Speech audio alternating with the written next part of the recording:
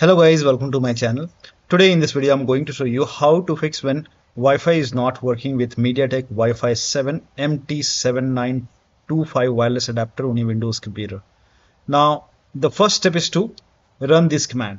These commands are provided in the video description. Type in CMD in Windows search box, make a right click on command prompt tab and then make sure that you open this as an administrator. Click on yes to allow. Now copy all the commands one by one and then paste it over here and then hit the enter key. Now run the second command paste it hit the enter key. Now run the third command.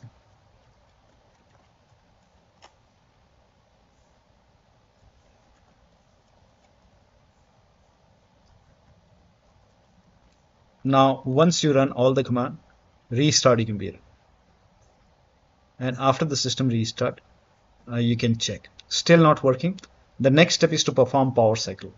To perform power cycle, first of all, shut down your computer.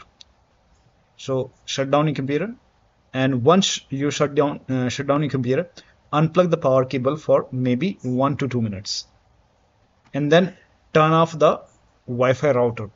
Wait for a few seconds, then restart the Wi-Fi router, and then connect the cable, uh, power cable back to the computer, and then restart your computer, and then check still not working. The next step is to disable or enable network adapter now for this make a right click on the start menu and then go to device manager.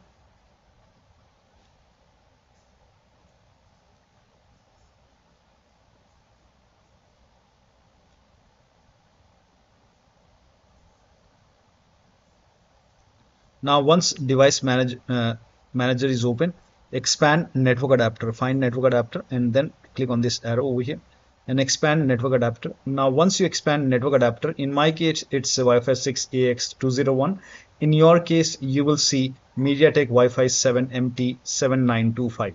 So if you see yellow triangle over here or any if you're facing any kind of error like 43, 39, 10, error code 10 in device manager, just ignore those error. Just make a right click on the Wi-Fi adapter over here and then click on disable device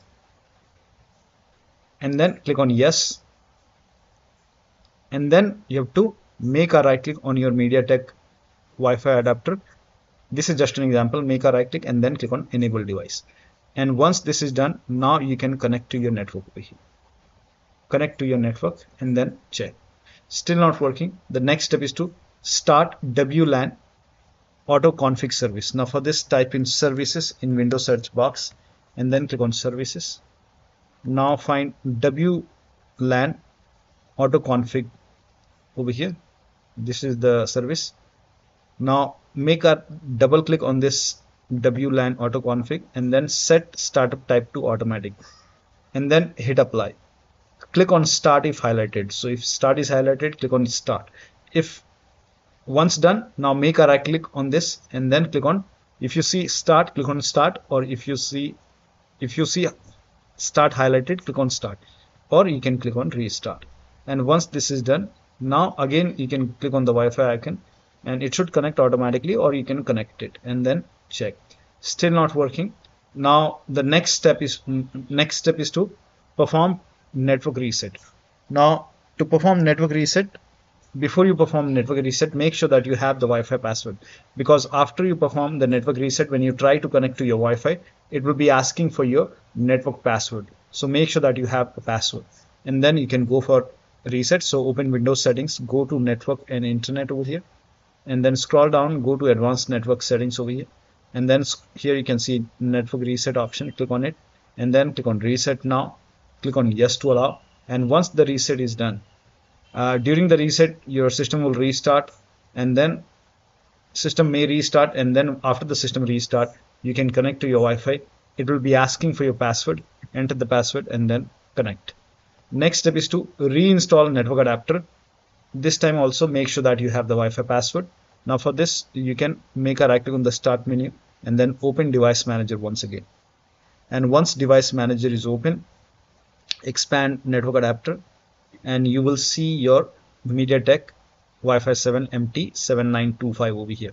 I'm showing you a different adapter. This is just an example make a right click and then click on uninstall device and then click on uninstall over here. Do not for now do not put a check over here uh, because you might get rid of uh, the driver. So it might not reconnect. So we will just click on uninstall. Now once the uninstall is complete you have to restart computer restart is a must after this. And after the system restart let me restart my computer first now after the system restart again make a right click on the start menu and then go to device manager. And once device manager is open now expand network adapter once again. And over here you will see your MediaTek 7925 adapter. Then make a right click and then uh, yeah after the system restart you will see your adapter over here. And there should not be any kind of error. And then now you can try to connect. Now this time when you try to connect as I told you it will be asking for your password so enter your password over here.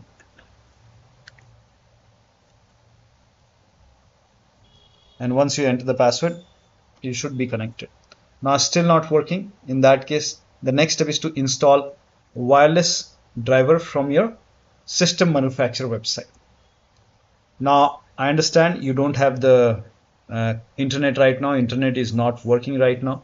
So in that case you can connect ethernet cable and go online now in case if you don't have ethernet cable or your computer does not have a ethernet port in that case you can use another computer which has the internet and download the wireless driver to the USB flash drive or hard drive to the external storage device and then use that USB flash drive or hard drive to install the wireless driver on the computer which does not have an internet right now. Now for this, uh, let me show you. This is just an example. Uh, you can go to uh, your system manufacturer website. I'm showing with Dell uh, for Dell. Now, if you have Lenovo computer, go to Lenovo. If you have HP computer, go to HP website. So this is just an example. I'm showing you with Dell computer. Now go to select your model number. You can enter your service tag, serial number, your model number, or you can simply uh, try to select your um, computer over here. Make sure that you select your computer. This is just an example. Now once you select your computer, now it will take you to your system page. Now you can go to drivers and downloads. This is just an example. You can go to your system manufacturer website and do the same thing. Now you can find the driver select your operating system make sure that whichever operating system you're using you have to select your operating system then you can uh, find your network uh, driver. Here you can see MediaTek MT7925 Wi-Fi driver. Now you can click on download. And once you download it you can go to the download location.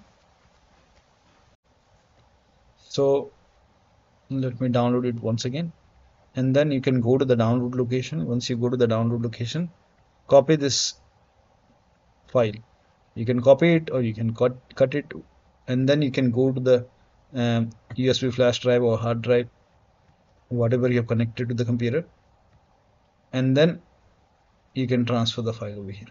Once it is transferred now you can uh, connect you can eject your flash drive from the working computer eject it and then you can connect this flash drive to the computer which is not uh, on which the internet is not working. Then you can open flash drive and then you, you can make a double click and then you can install this driver on your computer and then you can restart your computer and then try to connect. Now the last step is to reset your computer. If nothing is working you can reset your computer but reset may result in data loss and your application your data will be lost. So create a backup first before you perform reset. To perform a reset you can go to windows settings go to windows update and then go to advanced option over here and then go to recovery option. Over here you can see reset pc option click on reset pc and over here choose an option you can see keep my files. This will remove application and settings but it will keep your personal files. Remove everything will remove all your personal files application and settings.